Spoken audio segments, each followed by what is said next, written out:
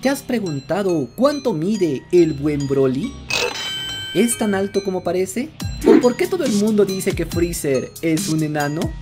¿Qué tan gigantesco es Escanor? ¿Y qué hay de los titanes? ¿Acaso Diana sería capaz de enfrentarlos? Pues el día de hoy haremos una comparación de los tamaños de los personajes del mundo del anime, pero no será una comparación común y corriente, sino que en esta ocasión uniremos el mundo de Dragon Ball, Shingeki no Kyojin y Nanatsu no Taisai, para dar como resultado un video increíble en el que veremos reunidos a los personajes de estas grandes historias. Pues esto es explicación, el tamaño de las criaturas de Dragon Ball, los 7 pecados y el titán de ataque.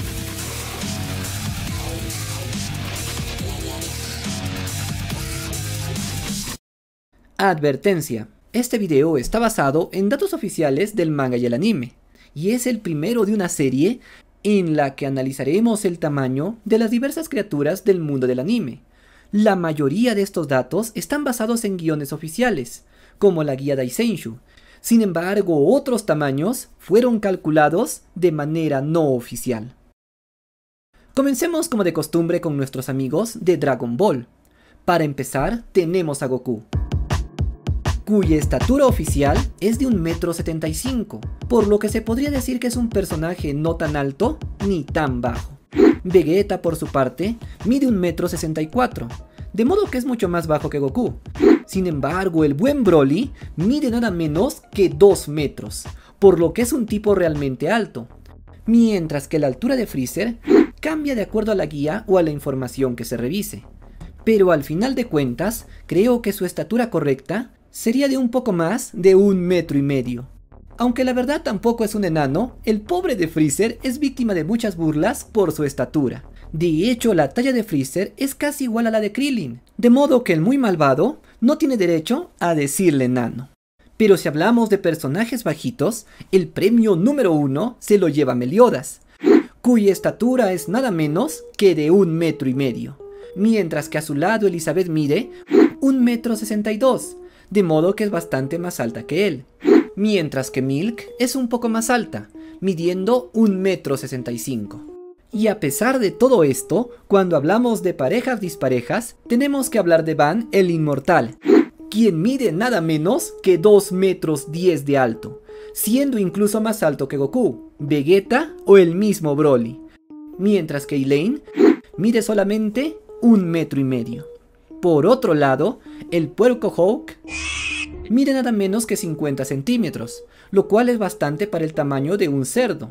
Esto se debería a que él es un cerdo del purgatorio, una raza que puede crecer hasta varios metros de altura, pues el cerdo wild mide aproximadamente 2 metros de alto.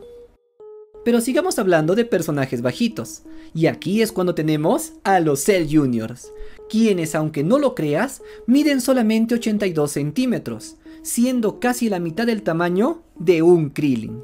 Pero, ¿qué de nuestros amigos de Shingeki no Kyojin? Pues Eren en la fase final de la serie creció bastante, llegando a alcanzar el metro 83, de modo que es más alto que Goku.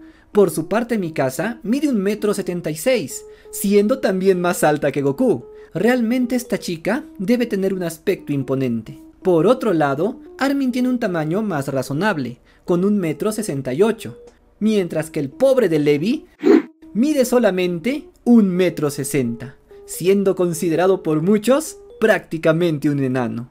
Aunque ya hablando en serio, es más alto que Freezer y Krillin, aunque no llegaría a la altura de Vegeta. Y ahora sí pasemos a hablar de personajes más grandes. Evil Boo, el Boo maligno, es mucho más alto de lo que parece a simple vista pues mide casi 2 metros y medio. Y si hablamos de bestias de gran tamaño, sin lugar a dudas, tenemos a la bestia Yacon, la cual como recordarás vivía en un planeta oscuro y se alimentaba de luz. Su tamaño era nada menos que de 4 metros y medio. El buen Escanor, por otro lado, aún en su forma más débil, mide nada menos que un metro 65, por lo que tiene una talla bastante considerable, siendo un poco más alto que el mismo Vegeta. Sin embargo, cuando se transforma en el orgulloso guerrero del sol, su estatura asciende hasta los 3 metros 25, lo cual es superior a cualquier otro ser humano común y corriente. Estaba en esta forma cuando luchó con el terrible Starosa. Sin embargo, durante esta batalla, al final el sol comenzó a elevarse un poco más, y Escanor llegó a su siguiente fase, en la cual realmente se convirtió en un gigante. El tamaño de Escanor al momento final de su batalla superaba los 4 metros de alto. Pero ¿sabes quién más tiene un tamaño tan grande? Pues nada menos que Mosco, el dios de la destrucción, cuyo tamaño también supera los 4 metros, siendo casi igual que Escanor. Este dios de la destrucción es realmente gigantesco. Con una talla semejante también se encuentran los titanes puros de Shingeki no Kyojin. Pero, ¿qué hay de los titanes cambiantes? Los cuales, como sabemos, tienen una estatura realmente grande, pues Eren en su forma de titán mide nada menos que 15 metros, por lo que es gigantesco, aún para Escanor, mientras que el titán bestia mide nada menos que 17 metros. De modo que Goku simplemente le quedaría en la rodilla. Pero, ¿qué tal si lo comparamos con otra gigante? Nada menos que con Diana, quien, como sabrás, mide 9 metros. Un tamaño colosal si lo comparamos con seres ordinarios, pero frente a Eren o Sekel sería como una niña. Sin embargo, en el mundo de Nanatsu no Taisai existe otra criatura con un aspecto todavía más imponente, pues estamos hablando del gigante Droll, quien mide nada menos que 25 metros de alto por lo que en términos de fuerza bruta, de seguro podría darle una paliza al titán de ataque o al mismo titán bestia. Pero otra sería la historia si lo comparamos con el temible titán colosal, el cual mide nada menos que 60 metros. Tan grande es la estatura de este monstruo que Goku le quedaría a la altura de los pies. Droll no le llegaría ni a la cintura y pisaría al cerdo Hawk como si fuera un insecto. El titán colosal es realmente temible, pero también tenemos a otra criatura gigantesca, de una apariencia tan colosal como la de este ser.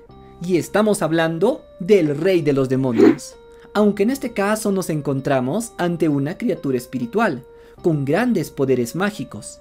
Realmente no tenemos la estatura exacta del rey de los demonios, pero se calcula que se encontraría cerca a los 50 metros de alto por lo que su tamaño es casi igual al del titán colosal.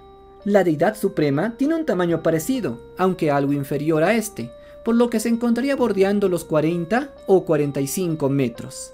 Sin embargo, Eren no es el único que puede aumentar su tamaño, pues personajes como Picoro pueden hacerse mucho más grandes si es que lo desearan, utilizando su poderosa magia. En este caso tenemos a Slug, que en su forma más grande mide aproximadamente unos 40 metros, siendo capaz de rivalizar con el titán colosal. ¿Pero acaso en Dragon Ball no habrá una bestia que supere su tamaño? Pues la respuesta es sí, pues si hablamos de gigantes, tenemos al monstruo Hildegard, cuyo tamaño superaba nada menos que los 80 metros.